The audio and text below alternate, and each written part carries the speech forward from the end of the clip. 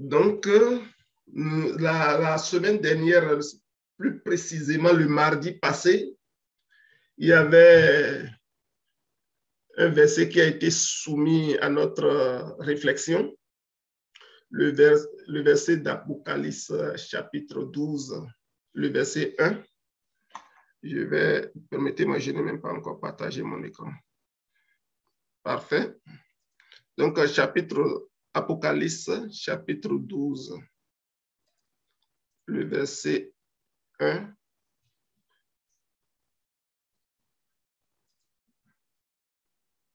qui dit ceci, un grand signe parut dans le ciel, une femme enveloppée du soleil, la lune sous ses pieds et une couronne de douze étoiles sur sa tête.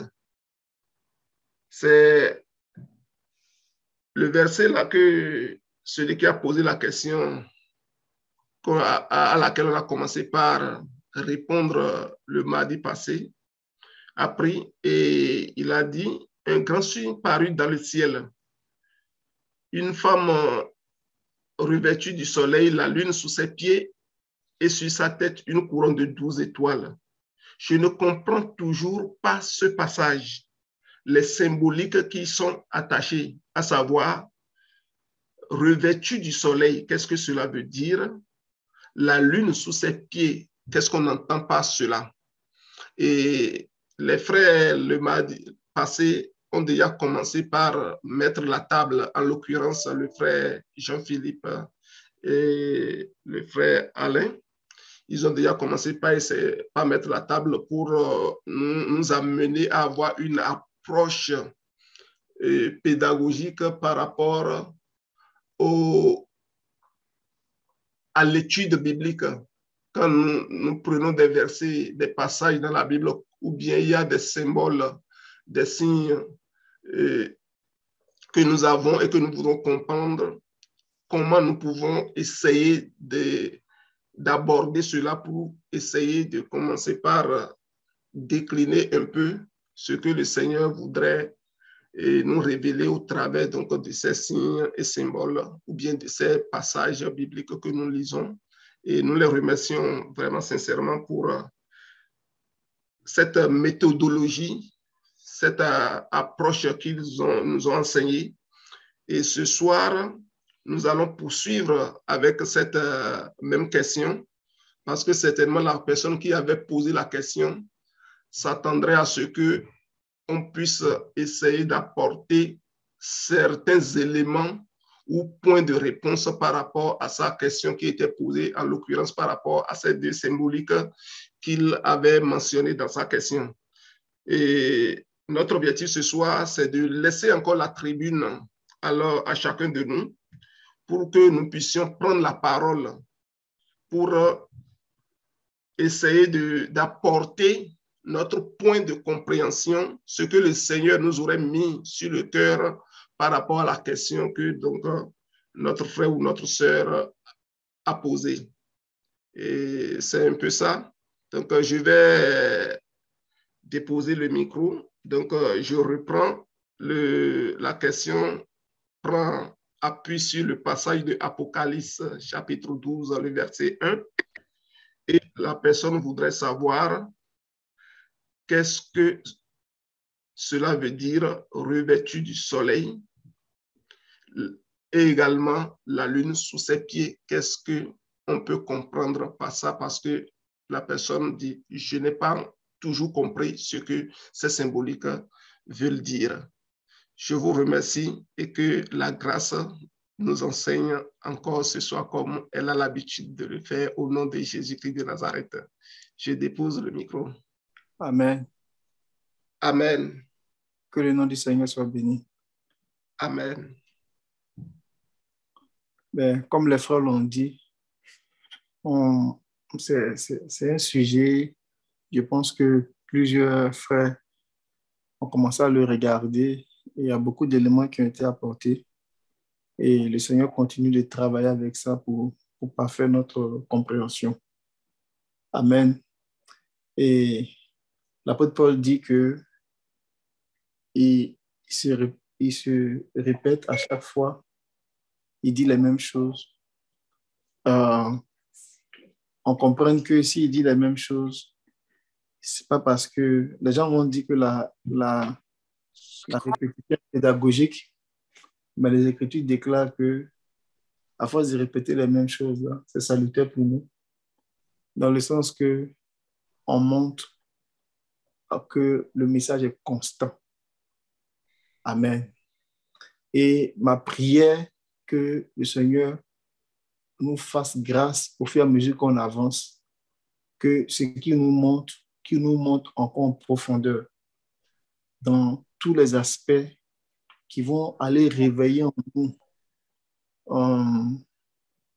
cette attitude de cœur qu'on doit avoir pour participer à ces choses-là.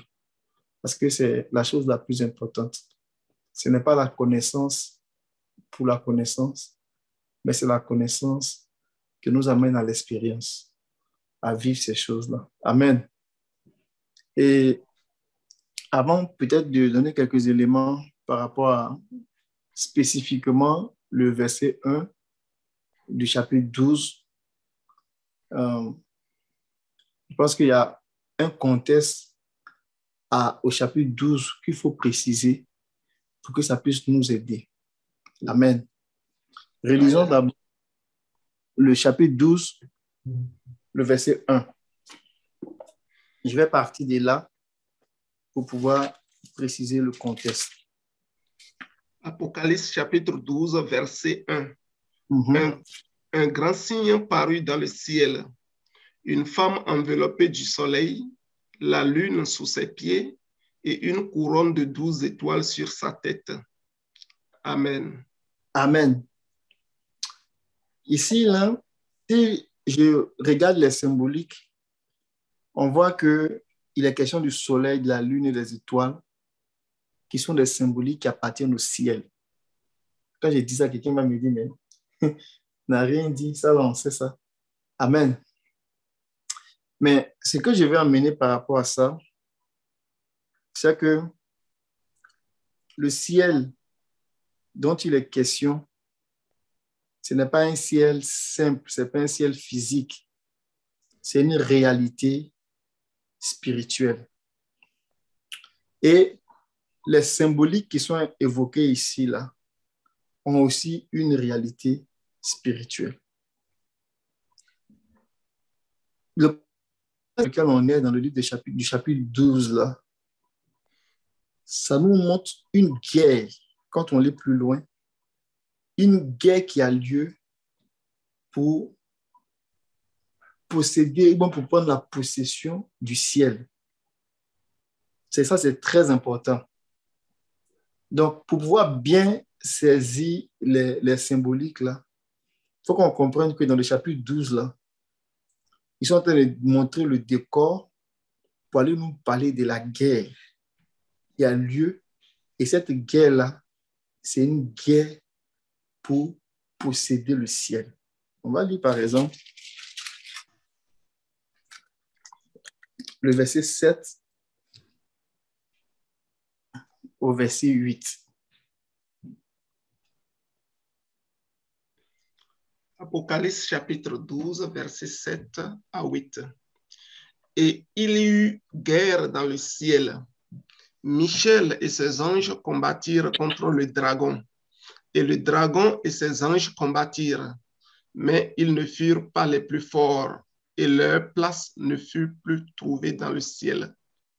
Amen. Donc, en fait, en nous décrivant ce qui se passe là, on entend de nous amener tranquillement à vraiment zoomer sur ce qui est en train de se passer. Parce que celui qui va gagner la bataille du ciel, c'est lui qui va pouvoir imposer son royaume. C'est vraiment important.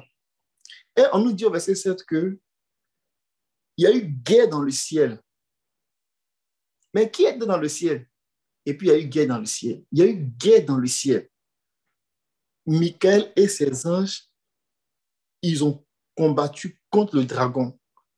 Le dragon et ses anges. Donc, il y a eu vraiment guerre dans les cieux. Il y a eu guerre dans le ciel. Et le verset 8 nous dit que ils n'ont pas c'est-à-dire que Satan et ses anges n'ont pas été trouvés plus forts. Donc, ils ont perdu leur position dans le ciel. Et on va dans Luc.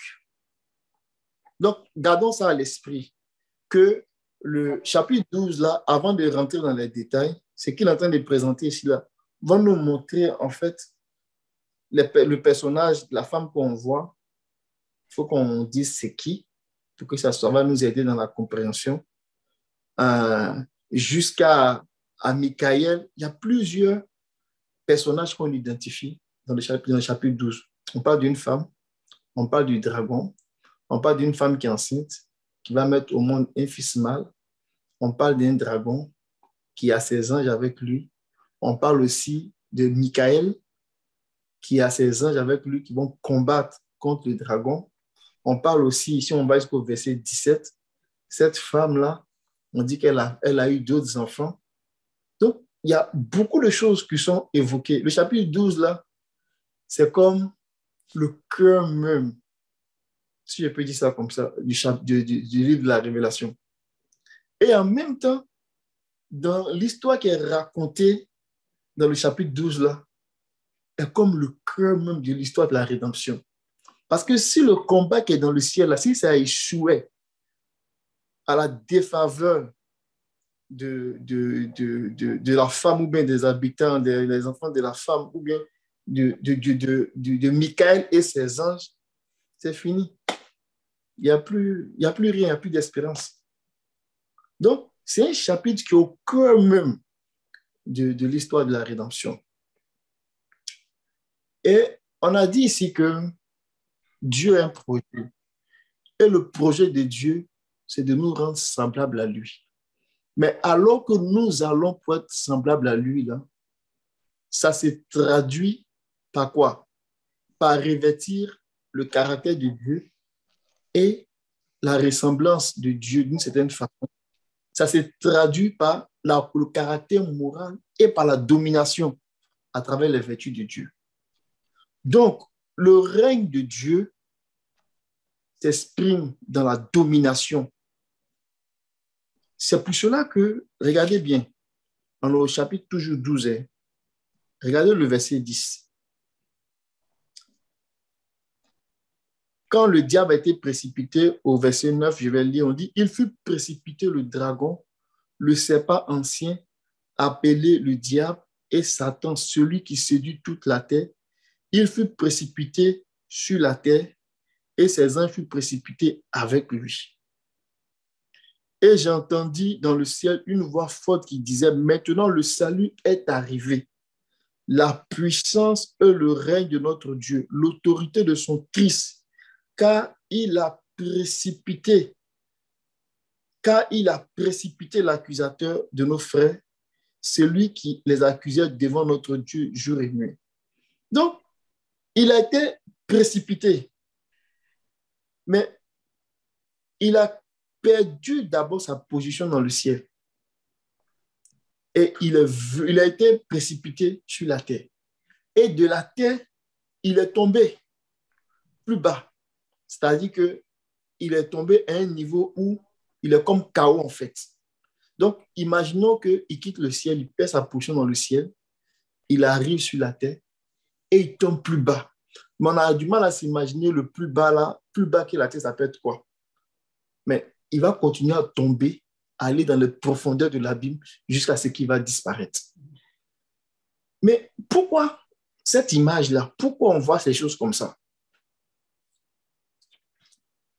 Le diable, les Écritures le montrent dans plusieurs témoignages des prophètes que l'orgueil qui l'a animé là, il a voulu régner dans la sphère où Dieu règne. Regardons dans Isaïe, Isaïe 14. On en vient un symbole. Hein. Amen. Isaïe 14, le verset 12 au verset 14. Non, verset 15. Ésaïe 14, 12 à 15. Te voilà tombé du ciel, astre brillant, brillant, fils de l'aurore. Tu es abattu à terre, toi le vainqueur des nations. Tu disais en ton cœur, je monterai au ciel, j'élèverai mon trône au-dessus des étoiles de Dieu. Je m'assierai sur la montagne de l'assemblée, à l'extrémité du septentrion. Je monterai sur le sommet des nues, je serai semblable au très haut. Mais tu as été précipité dans le séjour des morts, dans les profondeurs de la fosse? Amen. Amen. C'est prophétique, ce que Isaïe dit. Contextuellement, quand on le lit, c'est attribué au roi de Babylone. Mais le roi de Babylone, prophétiquement aussi, on l'appelle le dragon. Donc, l'esprit de la prophétie, c'est tellement puissant que des fois, il y a comme des tours de passe. On va parler de Pharaon comme un dragon, on va parler de Nebuchadnezzar comme un dragon. Mais en fait, dans l'œuvre d'ajustement, ils sont comme des expressions de Satan. Donc, souvent, on va comme interchanger. Puis, celui qui n'a pas, qui n'est pas habitué au langage, il va penser que, ben, que les Écritures se contredisent ou que les Écritures ne sont pas claires. Et c'est dans un langage que Dieu parle. Donc, Esaïe est en train de parler ici que, il est en train de parler d'une réalité. Que le diable, qui a une certaine domination dans les lieux célestes, là, il va être précipité. Mais qui est-ce qui va le faire précipiter? Qui peut le faire précipiter? C'est de ça qu'il est la question. Qui peut faire précipiter le diable? Qui peut faire précipiter le diable dans ses agissements? Qui peut arrêter le royaume des ténèbres qui est, qui est à l'œuvre? Quand on parle d'un royaume, ce n'est pas nécessairement un royaume physique. On va parler de certaines choses qui vont caractériser cette réalité-là. On va parler par exemple du royaume, on va penser à son roi, on va penser à son territoire, on va penser à sa population. Donc tout ça là, ce sont les éléments caractéristiques du royaume, mais qui met le royaume en mouvement, en action. Et le diable aussi, c'est pareil. Si on parle du royaume des ténèbres, on va parler d'un meneur, celui qui tire les ficelles. On va parler de sa sphère d'influence et des gens qui comprennent ces sujets. Donc, il est question vraiment d'un royaume qui combat un autre royaume pour avoir la domination, pour ne pas de la domination éternelle. Mais regardez ce que le Seigneur va dire dans Luc chapitre 10, le verset 18. Il va dire, je voyais Satan tomber du ciel comme un éclair. Oh, donc, il est dans le ciel. Il est dans une, il est dans une sphère de domination. Mais le Seigneur dit, je vois Satan tomber du ciel. Quand on lit Jean et puis on lit la déclaration du Seigneur, c'est à la fois quelque chose qui a commencé, mais c'était aussi à la fois prophétique. Parce que ce qui se passe dans Apocalypse 12, là, c'est une réalité qui est en train de se passer, c'est une réalité qui va rentrer dans son accomplissement. Donc, ce qu'on voit dans le chapitre 12, cette femme qui est là, là c'est un bout de l'histoire qui est en train de montrer comment la guerre qui va avoir lieu dans le ciel sera remportée par une classe de personnes. Et cette domination-là, cette victoire qui va être gagnée, ne pas dire cette victoire, cette guerre qui sera remportée là, ça va permettre à, ce que le, Seigneur rentre dans son règne en fait. Puisque quand on lit Apocalypse chapitre 12, à l'issue du combat, au verset 10, on dit, j'ai entendu dans le ciel une voix forte qui disait, maintenant le salut est arrivé et la puissance et le règne de notre Dieu et l'autorité de son Christ. Alléluia. Donc, on dit que le Seigneur vient, on dit que le Seigneur va régner, mais il y a un point de basculement. À ce point de basculement-là, les choses seront pleinement, j'ai envie de dire, du côté du Seigneur. Aujourd'hui, l'Église a été affranchi et puis l'Église court vers, on va dire, son accomplissement, vers son achèvement dans sa course. Mais ce n'est pas encore arrivé. Ce n'est pas encore rentré dans sa perfection. Et c'est de ça qu'il est question. On va lire un autre verset. Dans Éphésiens chapitre 6,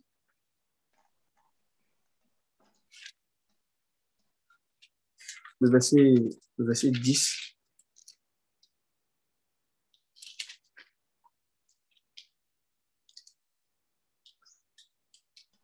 Ce qui fait que l'ennemi a la force, c'est parce qu'il est dans une position de domination.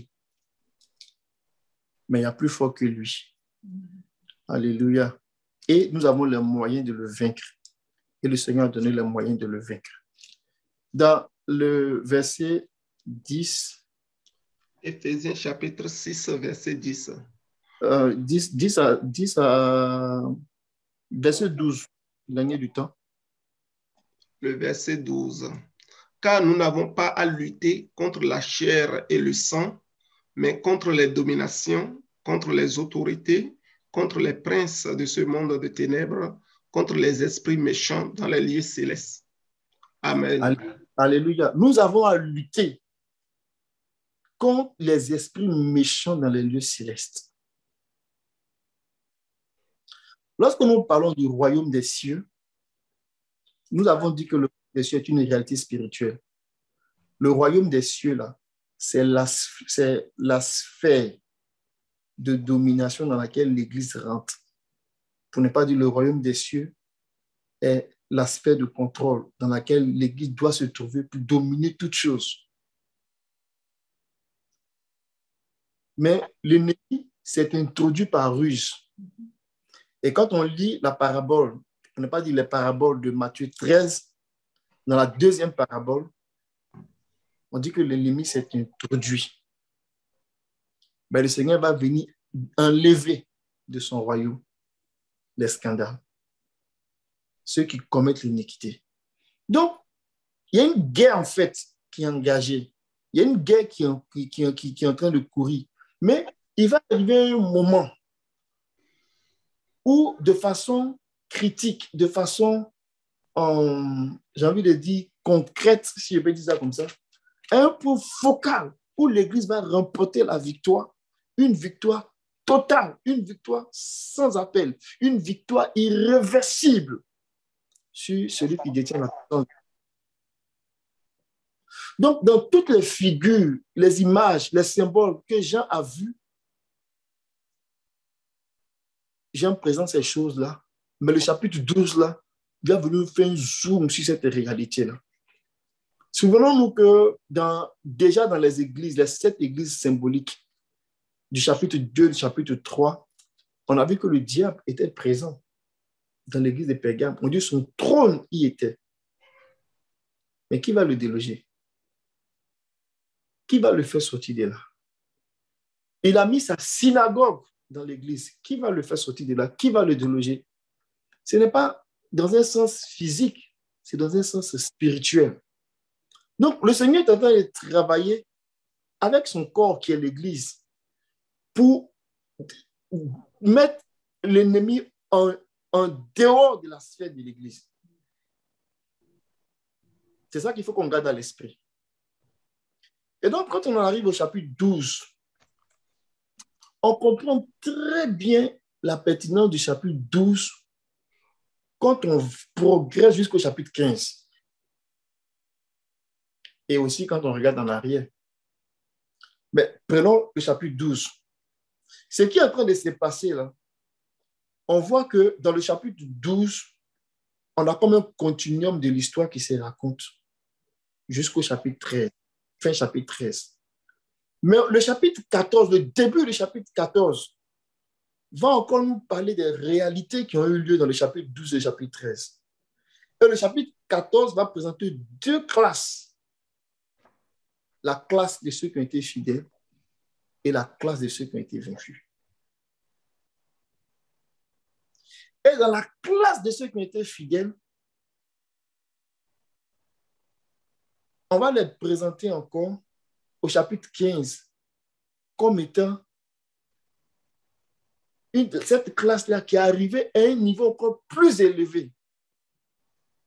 Or, dans le chapitre 12, quand on a commencé à la présenter, on parlait d'un signe magnifique, d'un signe qui est beau, d'un signe qui est grand. Mais quand on arrive au chapitre 15, qui décrit toujours la réalité de l'Église, mais rendu à un autre niveau, on dit c'est admirable. Un grand signe admirable. Donc, il y a une histoire qui se raconte en fait. Donc, pour ne pas rentrer dans les détails de tout ça, de revenir à notre symbolique là, du chapitre 12 là, la chose que je voulais qu'on comprenne d'abord, c'est que le chapitre 12 est en train de présenter en fait comment l'Église va rentrer dans une victoire, dans une domination au-dessus du, du royaume des ténèbres. Maintenant, regardons le chapitre 12. J'ai fait les va-et-vient comme ça pour vous amener à bien comprendre. Regardons le, chapitre 12. Le chapitre 12 nous dit que il voit une femme. Qui est cette femme-là? Qui, qui, qui, qui, qui, qui a une couronne de 12 étoiles sur sa tête, qui est enveloppée de soleil, qui a une, couronne, une, une femme qui est enveloppée de soleil, qui a la lune sur ses pieds, une couronne de 12 étoiles sur sa tête. Et elle enceinte. Mais elle enceinte de qui? Elle porte un enfant en elle. C'est dans un langage. Elle porte un enfant en elle. Mais l'enfant qu'elle porte là, c'est lui. C'est cet enfant-là. Quand lui va naître là, c'est là que la victoire sera possible sur Satan. Donc, quand on prend le temps et puis on lit, et puis on voit l'enchaînement, il a fallu que l'enfant naisse pour que la victoire, le combat soit enclenché et que la victoire soit remportée. Donc, en fait, quand on parle de, ça comme ça, on parle de la femme là, on est en train de parler d'une réalité spirituelle qui est l'Église. C'est vrai que gens ont commencé à, à interpréter, mais quand on regarde leur interprétation, ce n'est pas cohérent avec l'ensemble de, la compréhension de, la révélation. Qu'est-ce que je veux dire? Les Écritures ne font pas l'objet d'une... Ce n'est pas, pas des, des devinettes, ce n'est pas des tentatives pour trouver des explications ce contexte qu'on est en train d'expliquer, par exemple, qui nous montre ce qui se passe, le combat, tout ça, ça permet de bien camper les choses, de sorte que quand on, va aller expliquer, par exemple, Apocalypse 2, on va revenir dans Apocalypse 19, on va remonter dans le 17, on va revenir dans le 3, il faut que toute l'histoire tienne de façon solide. On ne peut pas se permettre de venir prendre, expliquer des bouts sans avoir le souci de la cohérence de l'ensemble de l'œuvre pour dire que, il y a des gens qui se sont avancés pour dire que cette femme-là, c'est Marie. Ça peut pas être Marie. Pas parce qu'on a quelque chose contre Marie, mais la façon dont les récits sont racontés, Marie, Jean avait peut-être 94 ans. Mais quand le Seigneur était à la croix, il a dit, euh, qu'est-ce qu'il a dit là même? Enfant, voici ta mère. Donc, si Jean avait 94 ans, Marie pourrait pas être encore en vie pour dire que ben, il est question d'elle. On avait déjà laissé ça. Le Seigneur était déjà né. Et ce qui s'est passé là, se passait après que le Seigneur soit né, qu'il ait eu 30 ans dans la chair, qu'il ressuscité et que l'Église ait continué ses activités plusieurs années après. Donc, il n'est pas question de Marie. Et il n'est pas question non plus euh, d'Israël. Il n'est pas question de Marie parce que la femme dont il est question ici, elle a eu d'autres enfants après. Regardez le verset. Le verset, le verset, le verset 17. On dit, le dragon fut hérité contre la femme et il s'en alla faire la guerre au reste de la postérité. Donc, elle a eu d'autres enfants. Donc, c'est cet enfant, quand on dit il a eu d'autres enfants ici, quand on décrit ici, a priori, on peut comprendre que ces enfants-là sont nés avant le fils mâle, parce qu'on ne décrit pas d'autres naissances avant. Donc, si c'est Jésus qui vient, comment se fait-il qu'elle a eu d'autres enfants avant que Jésus ne vienne? Ça ne tient pas la route. Ce n'est pas Israël dans la chair.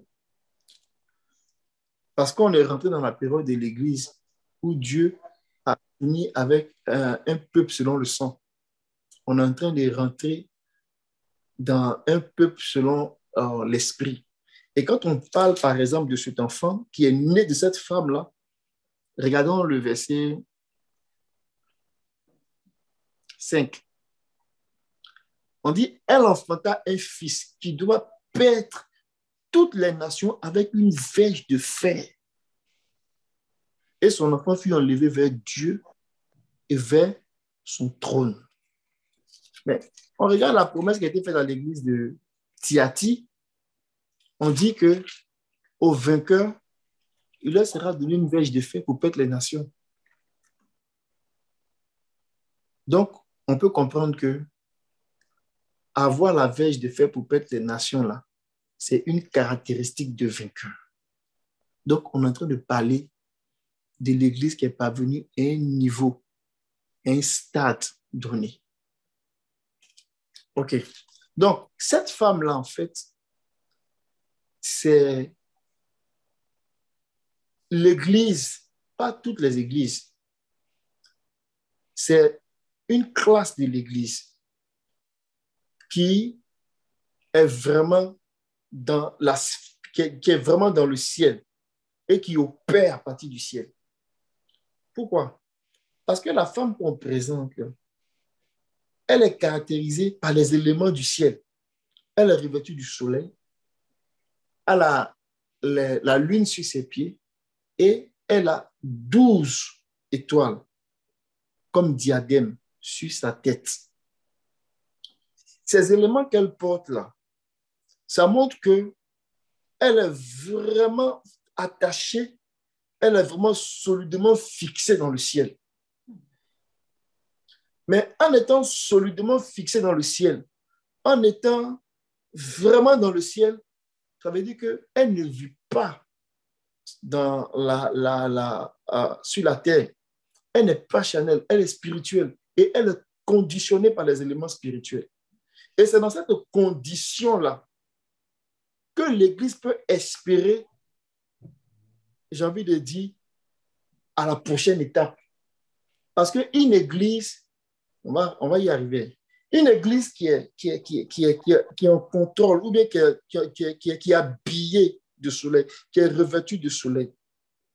Pour ne pas dire l'Église qui est dans cet état-là, parce que c'est un niveau, c'est un, niveau de consécration, c'est un niveau de vie, c'est une expérience vitale. Donc l'Église qui est dans cette situation, qui a, qui a, a, pris le soleil comme son vêtement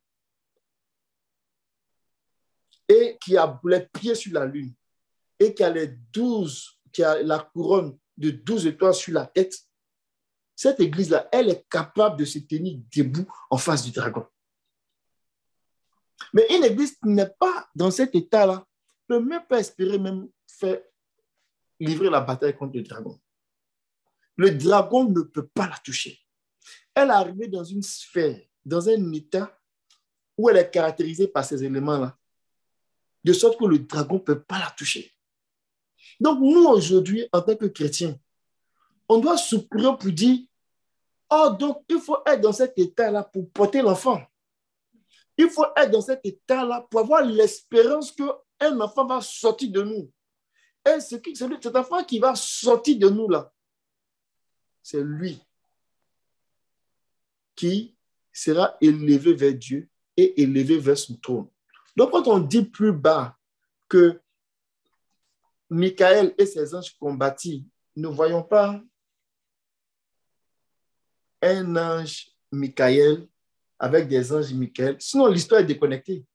Parce que tu es en train de parler d'une femme, des enfants. le fils mâle, ce n'est pas un seul, c'est un corps de personne. Il est élevé vers Dieu et vers son trône. On parle de cette classe-là de, l'Église qui est d'abord rentrée dans la condition du chapitre 12, verset 1 là, et qui a pu se rendre dans la condition de fils pour maintenant être capable de livrer bataille et déloger le diable. C'est ça qui est la question. Donc, cette église qui est caractérisée, qui est habillée de cette façon, qui a ce revêtement-là, c'est cette église qui peut tenir tête à l'ennemi. Donc l'enjeu, il est là en fait. Maintenant, comment on fait pour arriver là?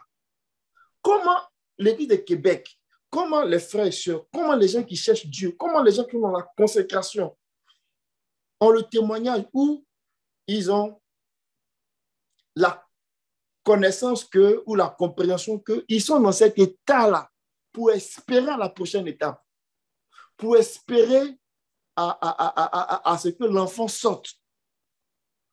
Jean qui a vu ces choses-là, dans des images, dans des symboles, dans des choses compliquées, lorsqu'il a écrit à la manière, je vais dire, des hommes, de façon plus claire, il a dit, par exemple, dans 1 Jean, il dit, bien aimé, ce que j'ai vu, j'ai caricature un peu, j'ai vu des choses glorieuses. Vous savez quoi? On va pour ressembler au Seigneur.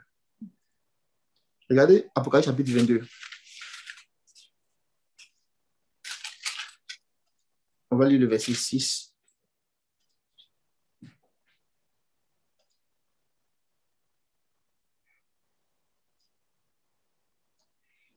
Apocalypse 22, verset 6.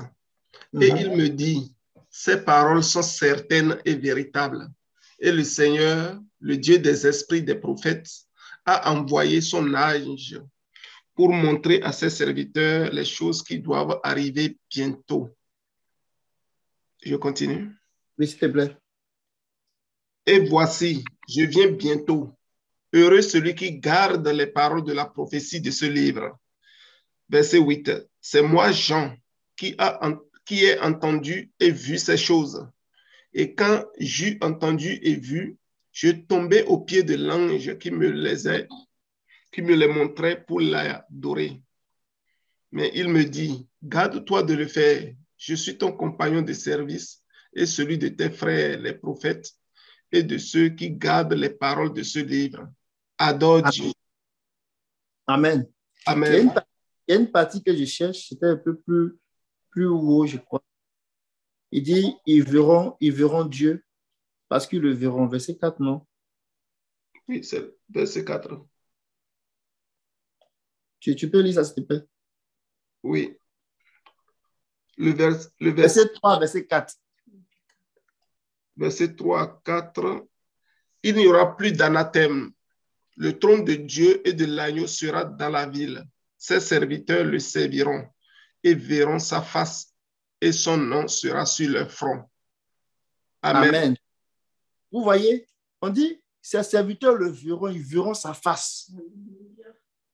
Mais quand a vu ces choses, quand il, racontait aux églises, il n'a pas nécessairement dit euh, ce que j'ai vu dans le chapitre 22, voici ce que ça veut dire. Mais regardez comment il amène ça.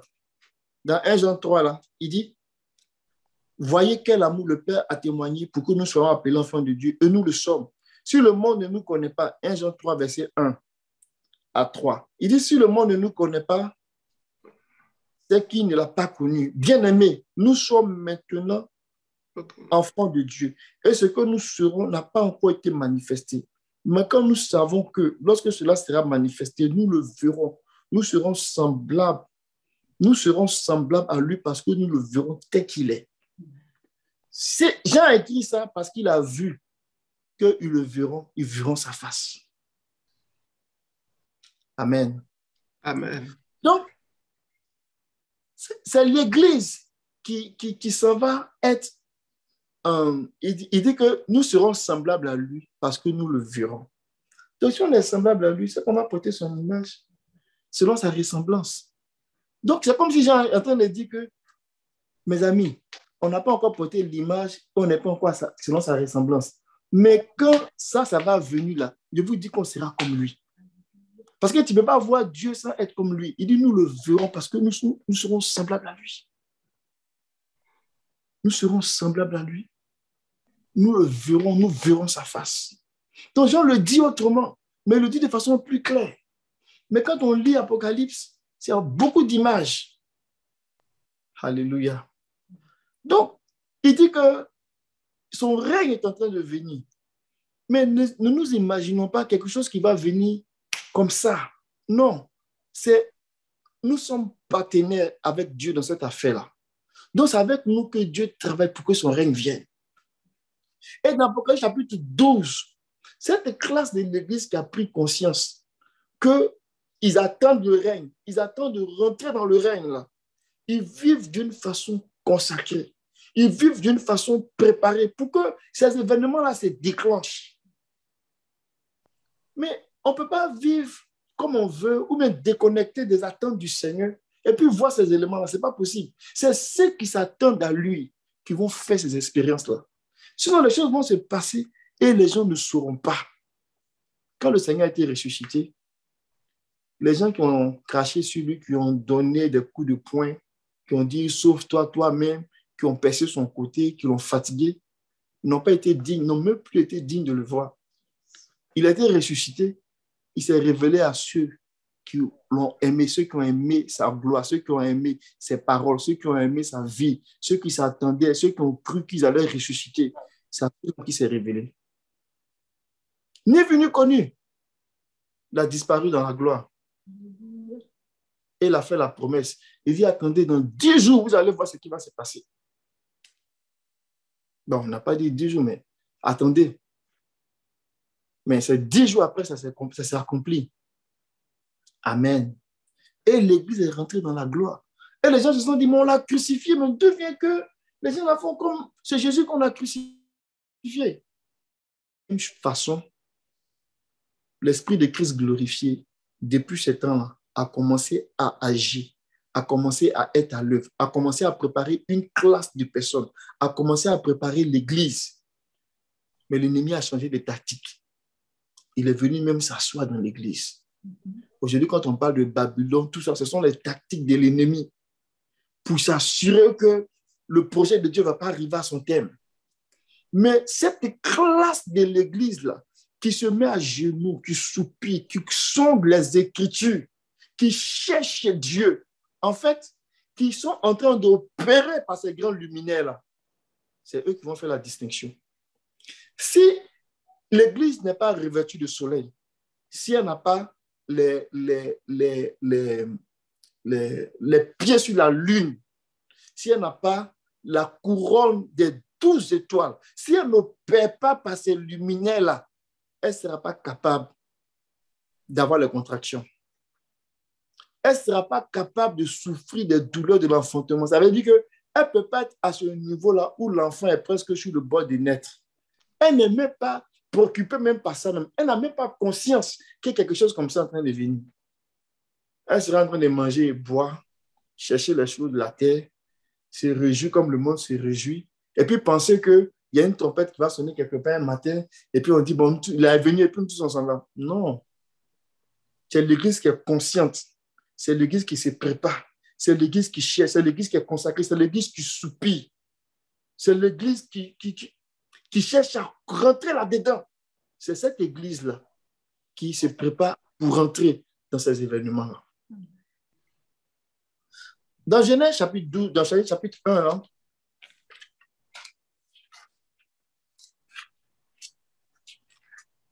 le quatrième jour de la création, il y a beaucoup de choses qui sont dites là-dessus, mais on peut aller prendre des bouts pour nous permettre de, de, de, de, voir ce qu'il en est à partir du verset 14 au verset 16. On dit, Dieu dit qu'il y ait des luminaires dans l'étendue du ciel. Alléluia. On dit une femme qui est dans le ciel. Qu'il y ait des luminaires dans l'étendue du ciel. Qu'il y ait des luminaires dans l'étendue du ciel. Quels sont ces luminaires-là? Continuons la lecture. Pour séparer le jour d'avec la nuit. Sans les luminaires, il ne peut pas avoir séparation entre le monde des ténèbres et l'Église, la lumière de Dieu, le royaume de Dieu. Ce n'est pas possible. Donc Dieu va s'assurer que les luminaires sont là. Il dit, pour que ce soit des signes pour marquer les époques et les jours et les années, qu'ils servent de luminaire dans l'étendue du ciel pour éclairer la terre. Et cela fut ainsi. Mais ça, là, on peut l'expliquer dans la création des choses que Dieu a faites, et puis c'est physiquement. Mais c'est spirituel. Moïse est en train de prophétiser. Moïse est en train de parler de quand l'Église va être dans sa sphère de contrôle. Comment elle doit faire pour dominer la terre? Pour dominer le monde de la chair. Ce qui est né de l'esprit est esprit. Ce qui est né de la chair est chair. Mais l'Église qui vit par l'esprit, là, elle, opère par le luminaire. Elle opère par le luminaire. Au verset 16, on dit, Dieu fit les deux grands luminaires. Alléluia. Le plus grand luminaire pour présider au jour, le plus petit luminaire pour présider à la nuit. Il fit aussi les étoiles. Si on prend les luminaires individuellement, on peut dire beaucoup de choses sur les luminaires. Mais dans le contexte précisément du chapitre 12, verset 1, la, la, la, le soleil qui enveloppe la femme là, c'est un revêtement de justice.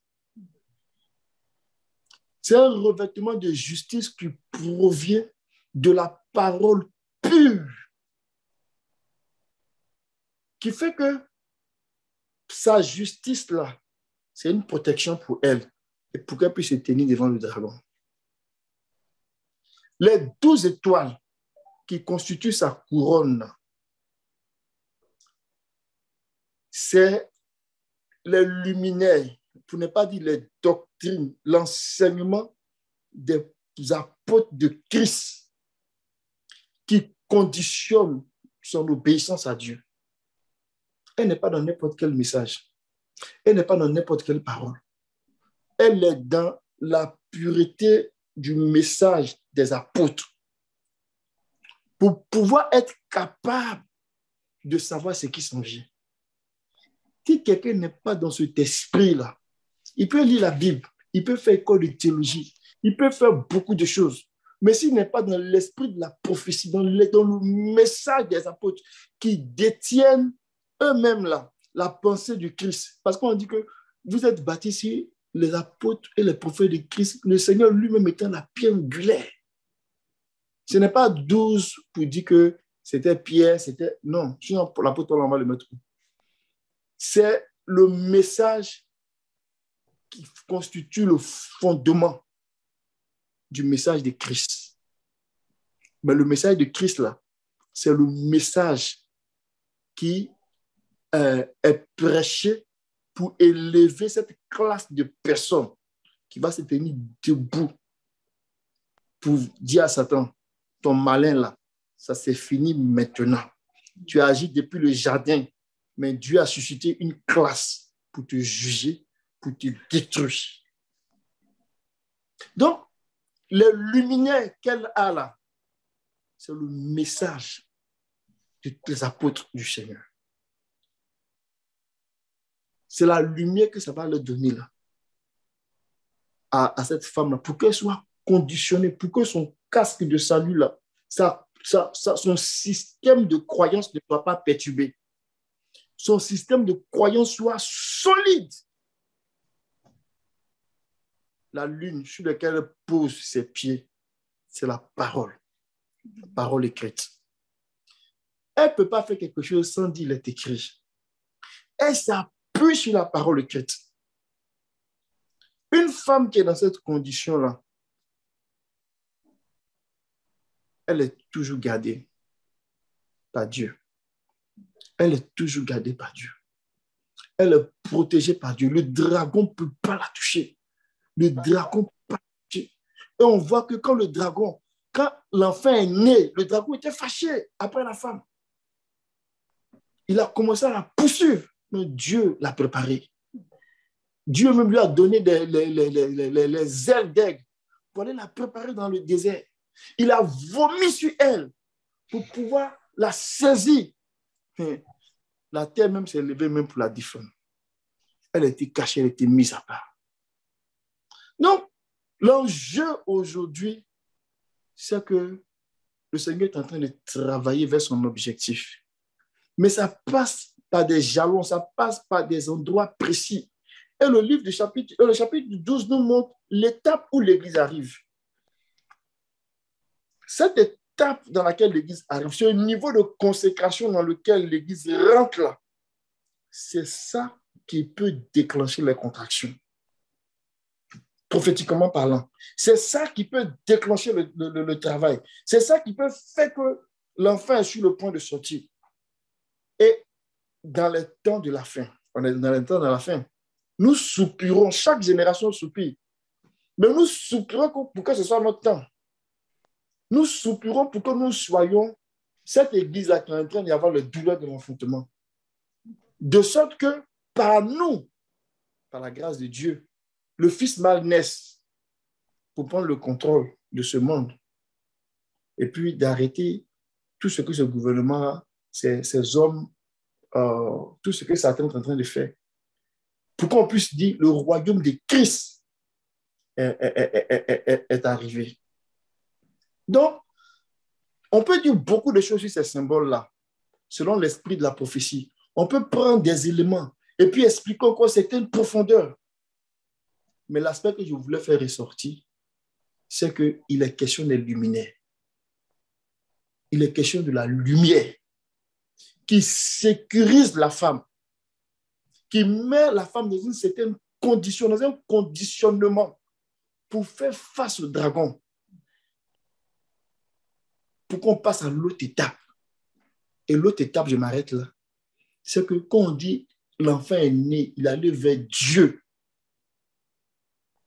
ça veut dire que l'Église est partie, va, va, il allait vers Dieu l'Église va rentrer dans un autre niveau avant de prendre le règne. Il allait vers Dieu, vers son trône. Donc, il y a un mouvement vers le trône, vers le règne, en fait. Donc, quand l'Église est en train d'aller là-bas, c'est que ça veut dire pour nous, là, c'est que Dieu va préparer l'Église qui est née de la femme, là. Dieu va mettre l'Église dans le niveau d'incorruptibilité. Parce que la, la, la, la, lumière qui se dégage des activités des luminaires, là, ça va mettre l'Église dans un niveau de justice éclatant. C'est pour cette raison-là que l'Église va avoir le pouvoir de juger. Ce n'est pas la justice qu'on juge. Ce, pouvoir de juger-là, l'Église ne va pas avoir ça comme ça parce que c'est du genre, oh, ton visage me plaît, puis tu donnes. Non. C'est parce que le travail des luminaires a atteint leur niveau satisfaisant. Ça produit la justice de Dieu. Cette justice de Dieu, on les établit. Et le Seigneur va même lui dire, bon, ok, comme vous avez été vainqueur, même les anges eux-mêmes, là, vous allez le gouverner. Ce n'est pas la justice que Dieu est en train de faire ce travail-là. Quand on lit Daniel 7, et qu'on voit que la dernière bête a fait des bêtises et qu'on devait la juger, on dit qu'ils ont mis des trônes. Et il y a un qui est venu, c'était l'ancien des jeux. On dit qu'il était revêtu d'une robe blanche et il allait s'asseoir sur une trône. Mais c'est là pour dire que Dieu n'a pas besoin de porter une robe blanche pour qu'on on, dit que Dieu est, Dieu est propre, ou Dieu est juste. Mais c'est pour dire que celui qui juge là, il est habillé, il va prononcer le jugement. Et le Seigneur nous montre ça dans les symboles des, luminaires, pour nous amener à un état de justice pour pouvoir régner dominer sur la mort. Ma prière, c'est que, au-delà des symboles que Dieu nous fasse comprendre le projet, l'objectif. Que Dieu nous fasse comprendre notre responsabilité. Que Dieu nous fasse comprendre notre, euh, nos défis, nos challenges, notre consécration, le prix à payer. Vous dites, Seigneur, cette femme-là, façon elle est habillée là, moi je vais habiller comme ça. Cette femme-là, façon elle fait là, moi je vais faire comme ça. Parce que si je suis dans cet état-là, c'est sûr que je vais avoir les contractions. C'est sûr que je vais avoir le douleur de l'enfantement. C'est sûr que je vais dans un état, je vais soupirer d'aller dans un autre état jusqu'à ce que le fils mal naisse. Parce que si le fils mal naît, il sera enlevé vers Dieu. Le est venu, il voulait dévorer, il ne pouvait pas. Il est enlevé vers Dieu, il est rentré dans l'incorruptibilité pour se préparer pour le trône parce qu'il y a un règne à venir, l'âge de mille ans là. L'Église va s'asseoir sur le trône pour régner avec Christ le vainqueur. Donc, il y a un mouvement, il y a une histoire qui est très claire. Que le Seigneur ouvre nos yeux, que le Seigneur nous instruise, que le Seigneur nous fasse comprendre ces choses-là. Alors que nous le cherchons, alors que nous soupirons, alors que nous, nous, nous, nous, nous implorons sa grâce, alors que nous nous jeûnons, euh, on va dire, euh, à tous les deuxièmes euh, samedis du mois. Alors que nous nous réunissons les mardis pour écouter la parole, on se met au pied du maître. Alors que nous prions les, vendredis, alors que nous levons des hôtels dans nos maisons, soupirons pour dire Seigneur, on veut passer à l'autre étape. On veut passer à l'autre étape pour pouvoir voir ces choses, pour pouvoir expérimenter ces choses, pour déloger le dragon, pour chasser le dragon. Ce qui nous attendons à la fin, nous pouvons le vivre dans une certaine mesure aujourd'hui.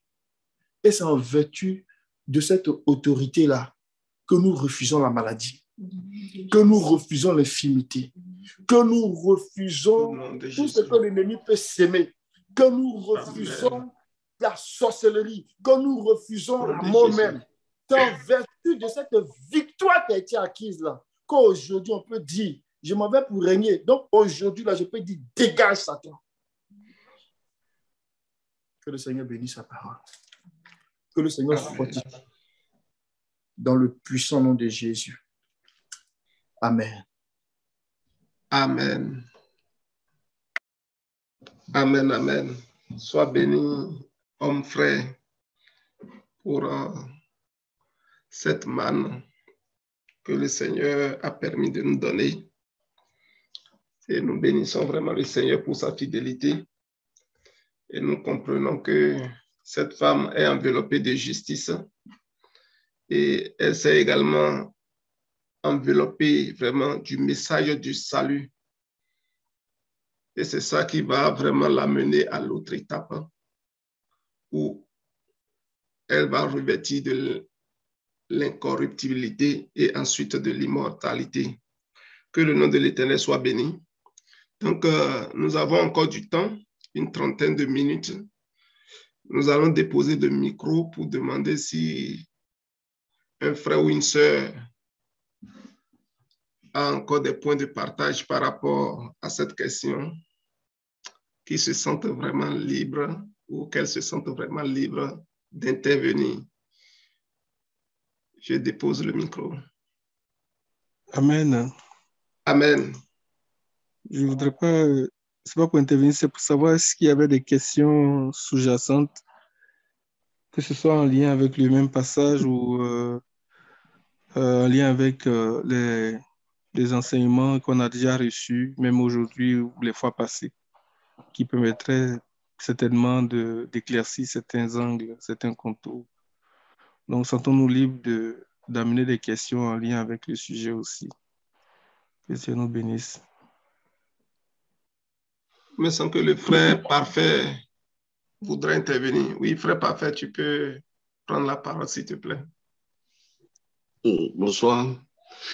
Ok, c'est en quelque sorte ce que Jean-Philippe a dit. C'était une question en rapport toujours avec euh, la question. Euh, j'aimerais savoir, j'ai fait un rapprochement quand il est dans Genèse 3, 15.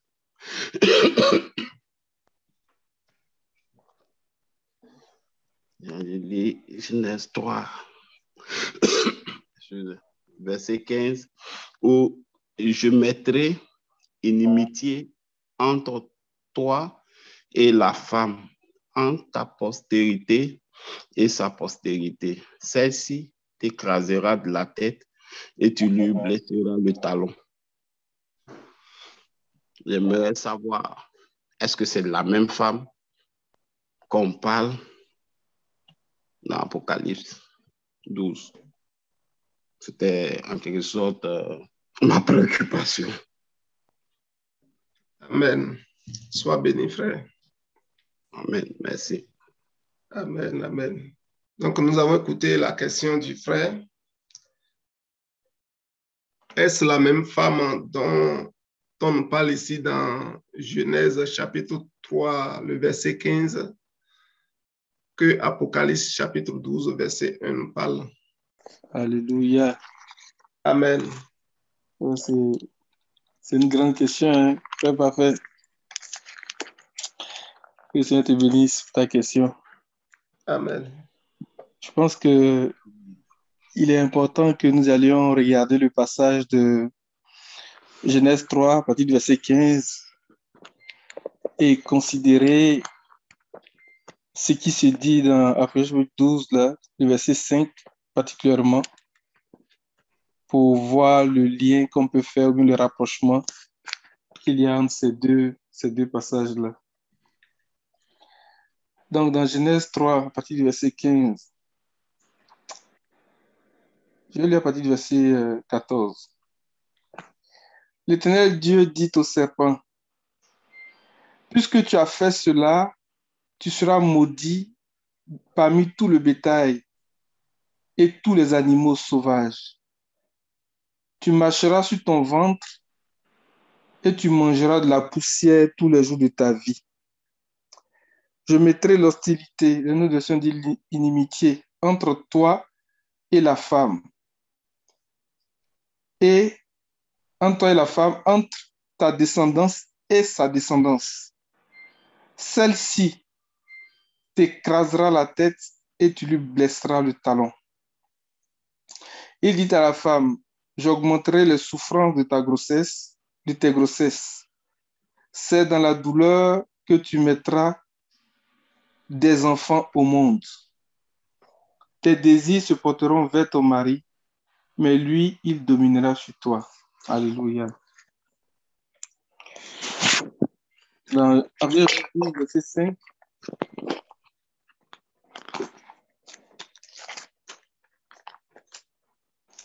Le verset 5 de Abraham 12 là s'inscrit dans la pensée de, du verset 26 du chapitre 2 d'Apocalypse.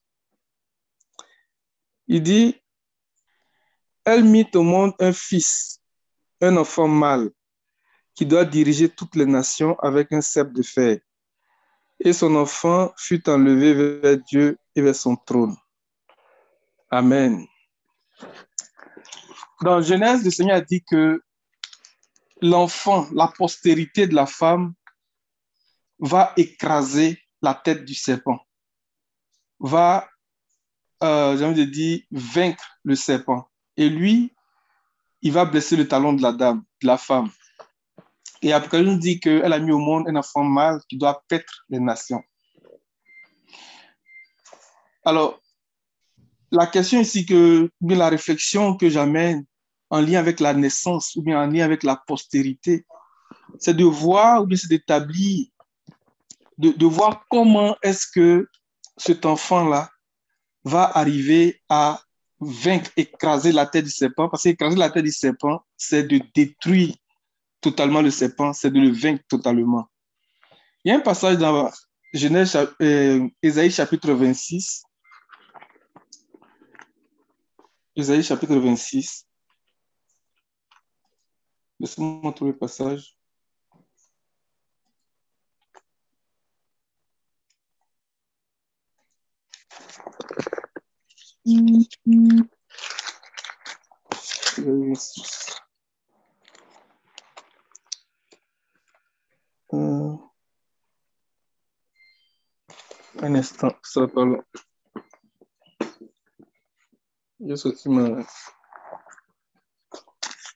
Alléluia. Le fils mâle est très attendu, mes amis. Le fils mâle, toute la création soupire après la révélation des enfants de Dieu. Parce que la création aussi a l'espérance de prendre part à la glorieuse liberté des enfants de Dieu. Dans Isaïe chapitre 26, à partir du verset 15, mais dans le verset 18, il dit quelque chose qui va nous intéresser. Il dit, multiplie le peuple ô Éternel, multiplie le peuple, manifeste ta gloire, recule toutes les limites du pays. Éternel, ils t'ont cherché quand ils étaient dans la détresse. Ils, ont, se sont répandus en prière quand tu les as châtiés. Comme une femme enceinte sur le point d'accoucher, ce tort écrit au milieu de ses douleurs. Ainsi, nous avons été loin de ta face, ô Éternel. Nous avons conçu, nous avons éprouvé des douleurs, et quand nous, enfantons, ce n'est que du vent. Regardez, il met deux points. Le pays n'est pas sauvé et ses habitants ne sont pas nés.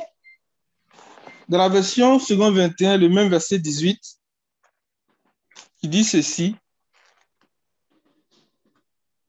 nous avons commencé une grossesse, nous avons éprouvé des douleurs, et quand nous accouchons, ce n'est que du vent.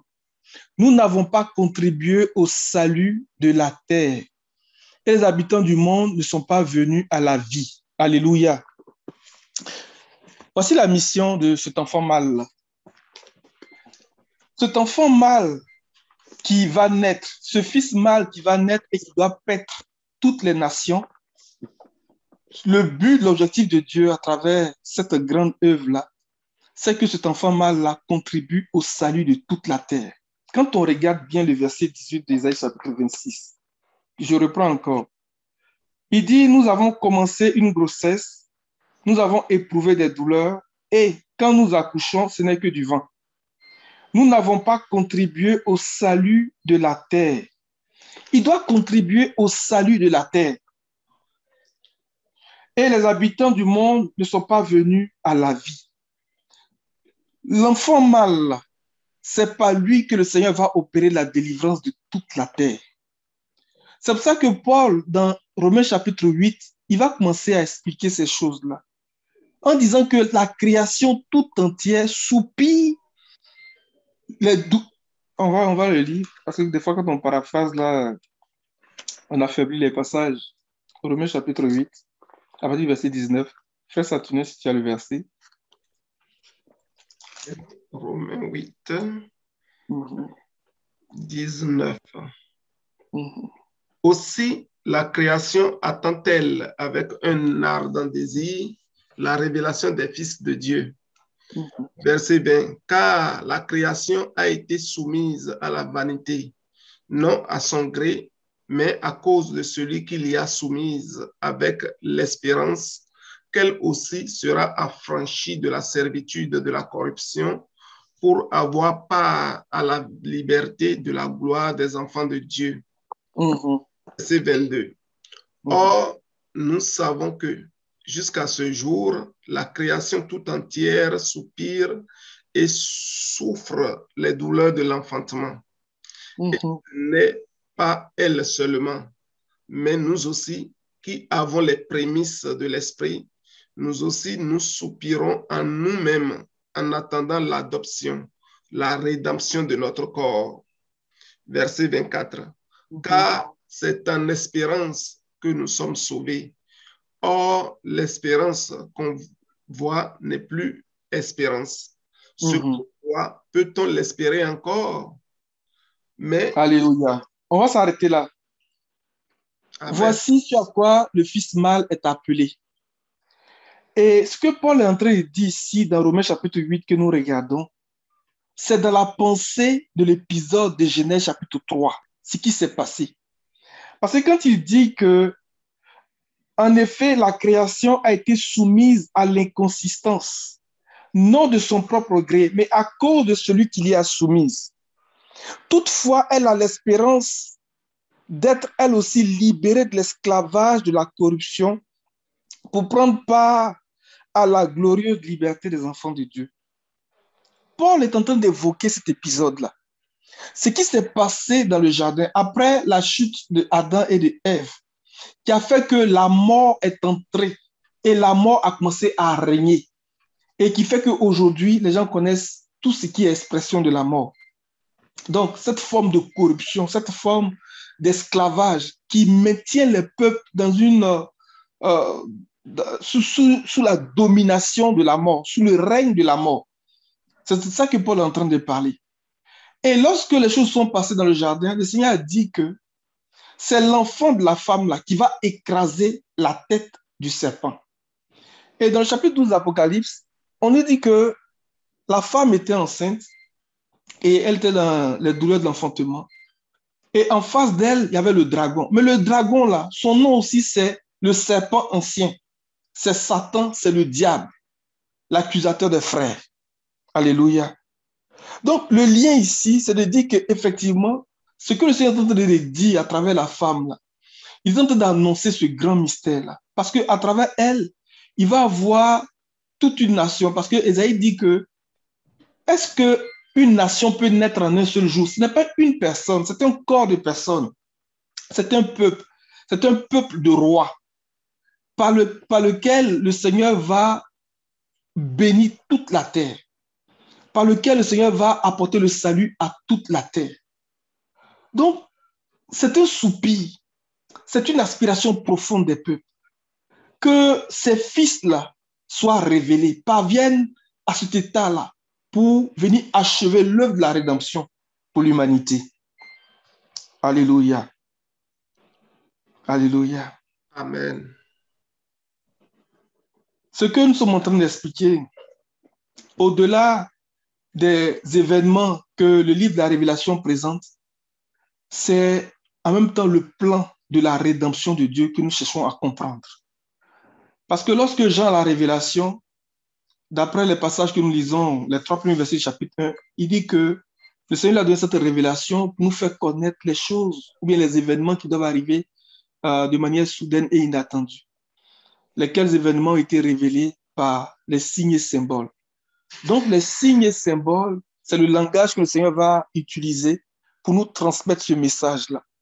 Mais ce message-là nous révèle, ou bien sécrète cette espérance-là, révèle le plan de la rédemption de Dieu. Et c'est à travers les trois grands signes. Et Alain est en train d'établir aussi que le troisième grand signe extraordinaire et merveilleux qu'on voit, c'est un niveau très élevé. Alléluia. Et en réalité, ce niveau-là, c'est la vision que le Seigneur a annoncée dans le chapitre 1 de Genèse. Genèse chapitre 1, verset 26, verset 28. Donc, il va présenter, j'ai envie de dire, un portrait dans le chapitre 12, en lien avec cette femme-là, qui va donner naissance à un fils mais le fils mâle qui doit paître toutes les nations. Mais lorsque nous regardons encore ce même verset 5 de euh, chapitre 12, là, dans la pensée de, du psaume 2, il dit que c'est un décret. On va regarder psaume 2 à partir du verset 7. Il dit que tu es mon fils, je t'ai engendré aujourd'hui. Gardons l'esprit que ce n'est pas une seule personne, c'est un corps de personnes. C'est vraiment un corps de personnes. Tu es mon fils, je t'ai engendré aujourd'hui. Et l'auteur aux Hébreux dit que cette euh, parole-là signifie que il est sacrificateur pour toujours à la manière de Melchisedec. Quand on prend ces versets bout en bout et qu'on revient dans les promesses du patriarche Abraham, il a dit Sarah va mettre au monde un fils, va mettre au monde un peuple de rois. Là, les choses se précisent. Mais ce qu'il a dit à Sarah dans Genèse chapitre 17, c'est ce qu'il avait dit dans le chapitre 15, qu'elle a fait sortir Abraham. Il dit, regarde le ciel, regarde les étoiles, si tu peux les compter. C'est les, luminaires qui nous présentent dans le chapitre 1 de Genèse. C'est ça qui vient montrer à Abraham. Il dit, regarde si tu peux les compter. Telle sera ta descendance. Telle sera ta postérité. Alléluia. C'est de cette postérité qu'il est question depuis le début. Qui doit vaincre, qui doit écraser la tête du serpent qui doit écraser la tête du dragon et pour contribuer à la délivrance de toute l'humanité, pour apporter le salut au reste de la postérité. Et c'est un appel qui nous est adressé. On va, on va, on va aller lire Somme là avant que je, je parle trop. Frère Satino. Somme chapitre 2, verset 7. À partir du verset, tu peux lire peut-être euh, deux versets plus haut. C'est 4 au verset 7. Celui qui siège dans les cieux rit, le Seigneur se moque d'eux. Puis il leur parle dans sa colère, il les épouvante dans sa fureur.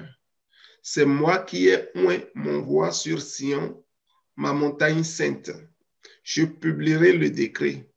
L'Éternel m'a dit, tu es mon fils, je t'ai engendré aujourd'hui. Verset 8. Mhm. Demande-moi et je te donnerai les nations pour héritage, les extrémités de la terre pour possession.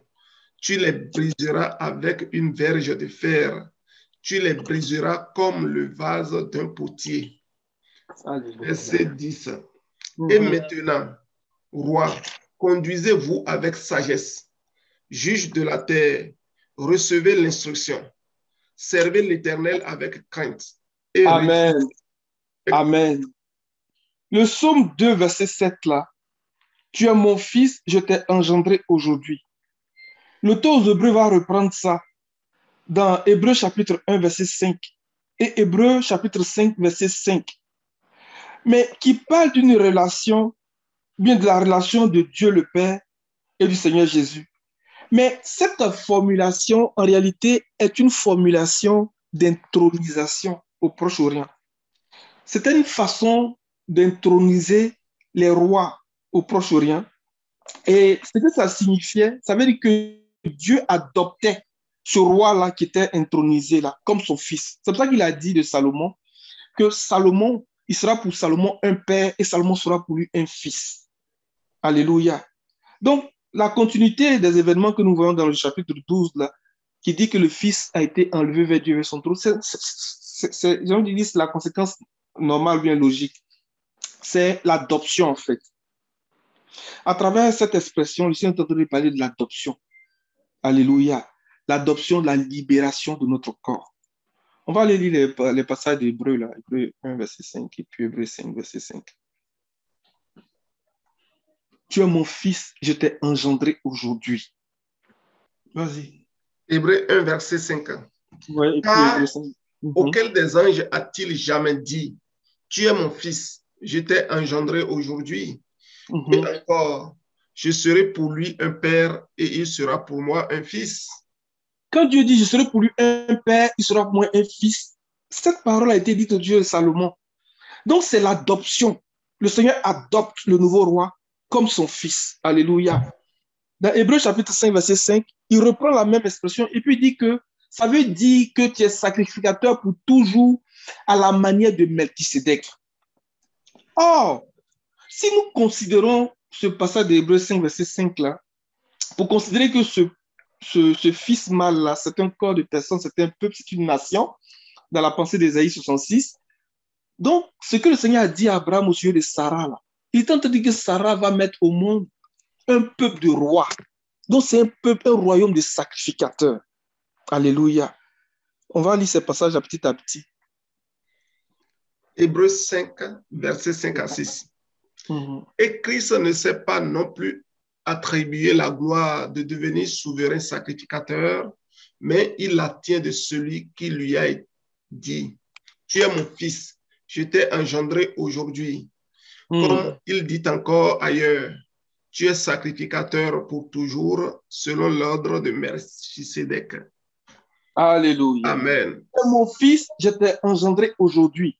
Ça veut dire que tu es souverain sacrificateur pour toujours à la manière de Melchisedec. Or, cette affaire de sacrificature, ce n'est pas la première fois que le Seigneur l'annonçait. Il annonçait à Abraham, le patriarche. Donc, dans Genèse chapitre 17, à partir du verset 16. Nous sommes en train de remonter tranquillement. Hein. Verset 15. Vas-y, mon frère. Genèse 17, à partir du verset 15. Dieu mhm. dit à Abraham, tu ne donneras plus à Sarai, ta femme, le nom de Sarai, mais son nom sera Sarah. Je la bénirai et je te donnerai d'elle un fils. Je la mhm. bénirai et elle deviendra des nations. Des regardez, bien, regardez, bien, regardez bien le verset 16. Il dit, je la bénirai et je te donnerai même un fils à travers elle. Bon, on voit Isaac.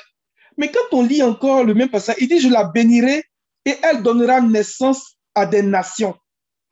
Mais quelles nations il, dit des rois seront issus d'elle. des rois seront issus d'elle. Quel roi?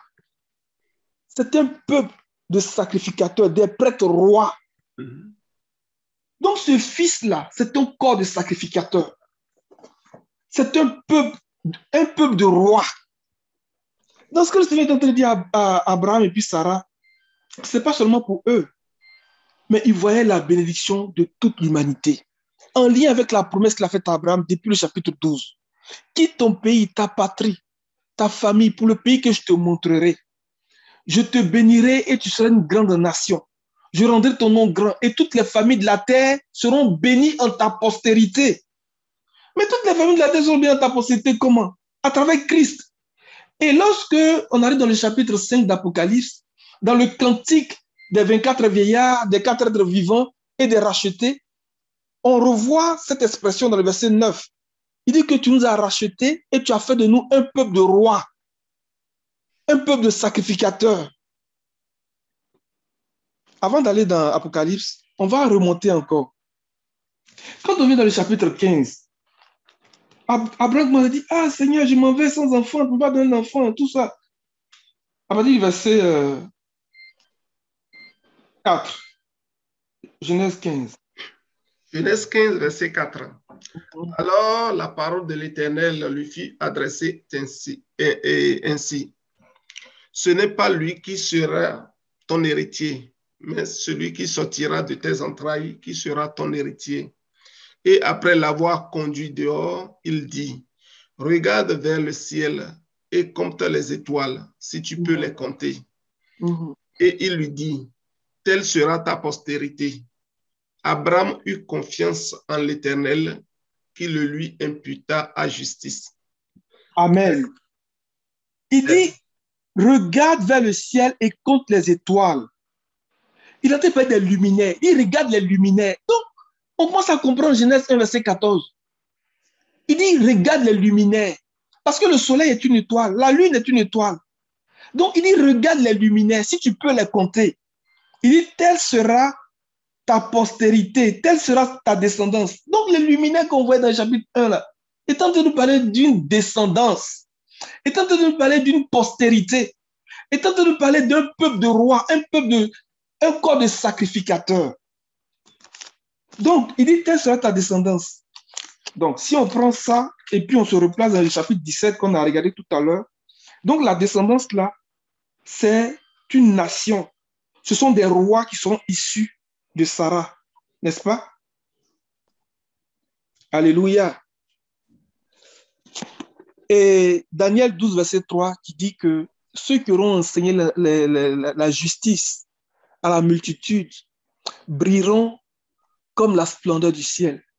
Ceux qui auront été perspicaces seront comme les étoiles pour toujours à perpétuité. Donc, ce sont des prédicateurs de la justice. Et l'étendue raconte la gloire de l'Éternel. Et l'étendue révèle l'œuvre de ses mains. Donc, c'est ce peuple-là qui va révéler l'œuvre du Seigneur, qui va raconter la gloire de Dieu.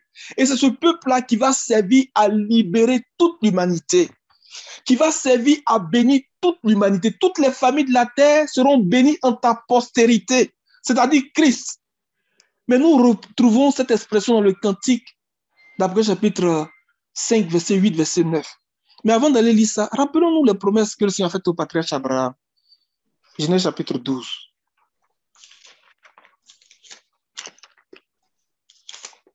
À partir du verset 1. Genèse 12, verset 1. Mhm. L'Éternel dit à Abraham, va-t'en de ton pays, de ta patrie, de la maison de ton père, dans le pays que je te montrerai. Je ferai de toi une grande nation. Et Amen. Je bénirai. Seigneur n'a pas changé. Hein? Regardez ici, il dit, je ferai de toi une grande nation. Dans le chapitre 15, il dit, regarde les luminaires, si tu peux les compter. Telle sera ta descendance. Il dit à Sarah, de Sarah sera issue une nation de peuples, des peuples de rois. Je ne sais pas si dans une autre version, il... je crois dans la version du second, Genèse chapitre 17, là. Excusez-moi si je prends un peu de temps, mais. Verset 16. Il dit Je la bénirai et je te donnerai d'elle un fils.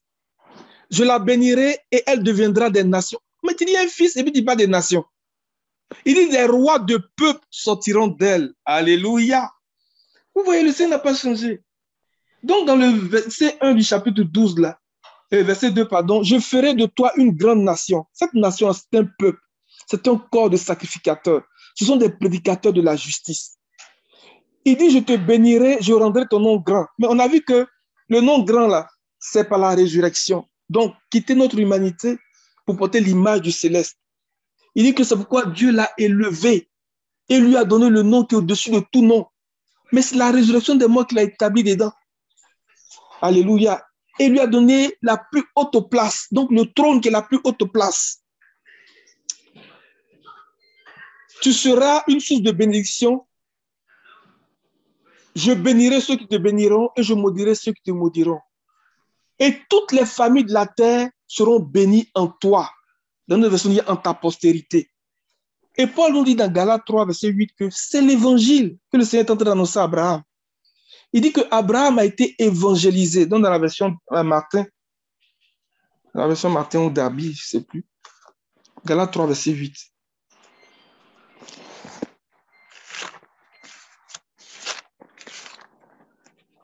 Galates 3, verset 8. Galates 3, verset 8, dans la version Martin, oui, oui, Martin. voyant que Dieu justifierait les gentils par la foi, a auparavant évangélisé Abraham en lui disant, toutes les nations seront bénies en toi. Vous voyez, c'est l'évangile. Ce que le Dieu a dit à Abraham là, c'est le message de l'évangile. Il dit, il a évangélisé Abraham en lui disant que toutes les familles de la terre seront bénies en ta postérité. Alléluia. Maintenant, on va dans Abraham chapitre 5 maintenant, versets 8 et 9.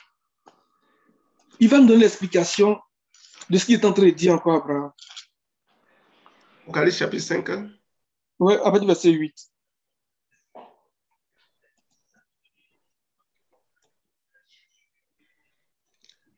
Et quand il eut pris le livre, les quatre animaux et les 24, anci- et les 24 anciens se prosternèrent devant l'agneau, ayant chacun des harpes et des fioles d'or, pleines de parfums qui sont les prières des saints.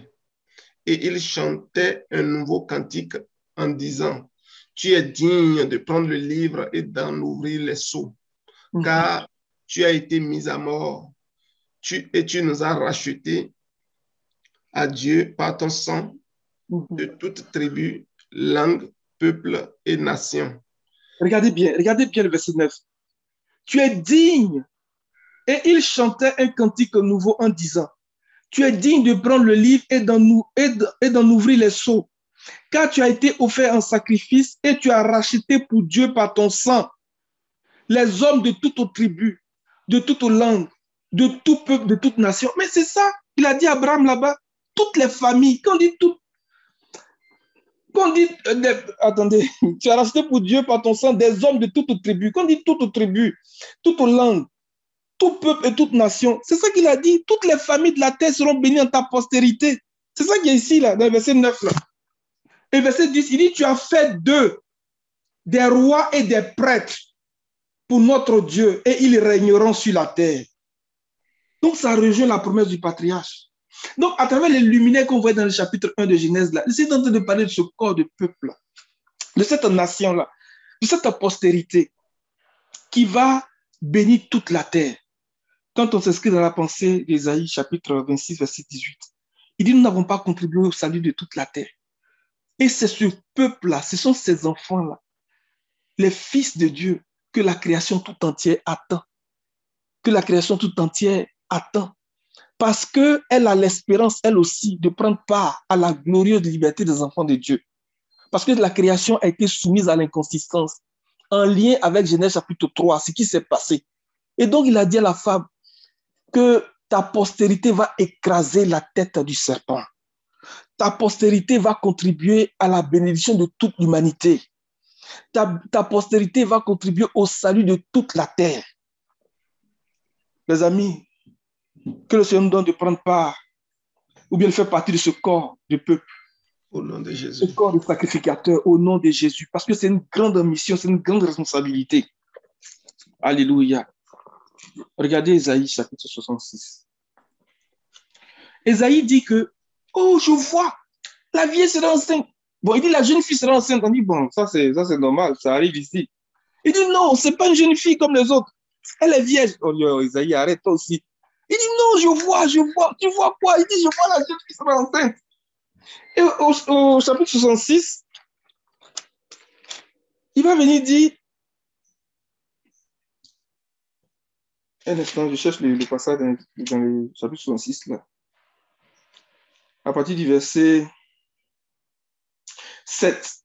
Regardez ce qu'il va dire. Il a dit d'abord au chapitre 7 là-bas qu'il voit une femme, une jeune fille qui sera enceinte. Maintenant, dans le chapitre 66, il va dire l'enfant qu'elle va mettre au monde là, il représente qui? Avant d'éprouver la douleur, elle a enfanté. Avant que les, les souffrances lui vinssent, elle a donné le jour à un fils. Regardez bien, il dit un fils. Qui a jamais entendu pareille chose Qui a jamais vu rien de semblable Un pays peut-il naître en un seul jour? Donc tu dis un fils, tu dis un pays. La parole du Seigneur est vraiment puissante, les amis. La parole du Seigneur est vraiment puissante. Il a dit à Abraham, Sarah va donner un fils. Il dit que un peuple de rois sorti d'elle. Non, ce n'est pas une personne, c'est un corps de personne. Ce fils mâle, vraiment la création vraiment attend ce fils mâle. Regardez, qui a jamais vu rien de semblable? Un pays peut-il naître en un seul jour? Une nation est-elle enfantée d'un seul coup? À peine un travail, Sion a enfanté ses fils. Mais au début, il a dit un fils. Maintenant, il dit ses fils. Alléluia. Alléluia. Alléluia. Que le nom du Seigneur soit béni. Que le nom du Seigneur soit béni. Et ça doit être notre soupir à nous tous de participer à la bénédiction de toute la terre. De ceux que le Seigneur dit, tu es mon fils, je t'ai engendré aujourd'hui. La création attend la révélation des fils de Dieu. Et c'est ce fils-là qui doit contribuer au salut de toute l'humanité. Et le Seigneur nous appelle à participer à cela. Et à travers le livre de la, la rédemption, il est en train de nous montrer comment les choses vont se passer. Et ça doit être notre soupir. Et ce n'est pas la parole prophétique. Ce n'est pas la parole prophétique qui prépare ce corps de personne. Que le Seigneur nous bénisse. Amen. Que le Seigneur nous bénisse. Amen. Au nom de Jésus. Amen. Amen. Amen. Sois béni, frère Jean-Philippe. Et nous bénissons le Seigneur pour sa grâce, pour euh, sa lumière qui nous a encore donné pour venir nous apporter la vie et la vie en abondance. Que son nom soit béni. Donc le temps est avancé, nous allons nous arrêter là pour aujourd'hui. Et nous allons bénir le Seigneur pour lui demander de nous permettre vraiment d'être cette femme. Cette femme qui est vraiment drapée, vraiment de justice. Cette femme qui a pris plaisir dans le message du salut et qui vraiment se nourrit des enseignements des apôtres et des prophètes et qui est vraiment agréable à Dieu pour être élevé, pour vraiment donner naissance à ce fils-là qui sera élevé vers Dieu, vers son trône, que nous soyons le peuple de Québec, l'église de Dieu que nous constituons, nous soyons véritablement ces femmes à tout point de vue, pour que la vision de Dieu depuis Genèse, le chapitre 1, le verset 26 à 28, qui est de faire l'homme selon sa nature et selon sa ressemblance soit une réalité pour que nous soyons à tout point de vue conformes au plan de Dieu pour être vraiment à son image et selon sa ressemblance, être semblable à Dieu. Parce que nous serons vraiment la représentation même de cette femme pour être porté vers Dieu. Que le nom de l'Éternel soit béni et que chacun prie pour sa part et que nous prions pour l'Église collectivement. Au nom de Jésus-Christ de Nazareth.